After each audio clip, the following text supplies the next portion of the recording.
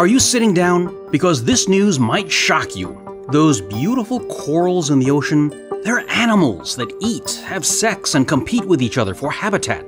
Plus, Their poop makes sense. okay, that part might not be scientifically accurate, but the other stuff is. And corals are incredibly diverse.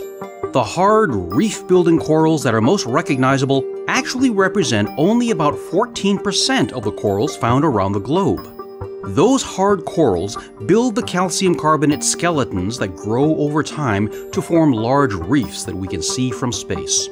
While soft corals contain loose calcium carbonate within their tissues, making them, well, soft. Hard corals live in clear, shallow tropical waters, but other kinds of coral occupy the oceans worldwide from sea level to as deep as 28,000 feet.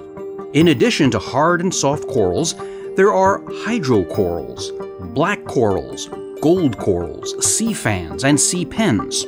Often, many different types of corals can share the same habitat, like a garden of colorful animals all mixed up together. It's kind of like a mini city underwater.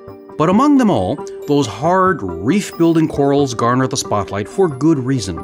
Although they cover less than 1% of the Earth's surface, coral reefs provide habitat for over 25% of life in the oceans. The fact that they are not rocks and they are living things just makes people question like what's around them and like look at things in different ways.